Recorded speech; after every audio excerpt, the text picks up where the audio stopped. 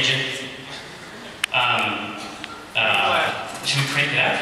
Do we need, do we need to, we, we very nearly created a character for Sony Computer Entertainment of Europe. Um, we were all, like, years and years ago, we almost did a comic for them. I assume that character would have had an accent. okay, thanks. Thank you. Hi.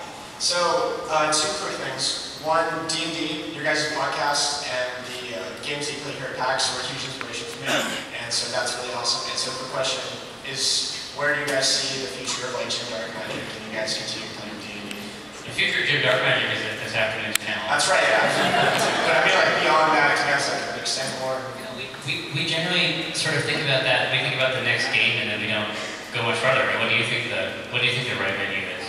Well, a lot of it is just not up to us. I mean, we, we play those D&D games when Wizards asked us to. Um, I would play all the time. if they would let us. Yeah, I, I, I think that, I think that they could probably withstand a more robust comic treatment. Yeah, we can do that. I think an adventure comic that focused on, Awesome. on that group would be, would, would work, I think, I think it would work. Uh, my second- Yes, go.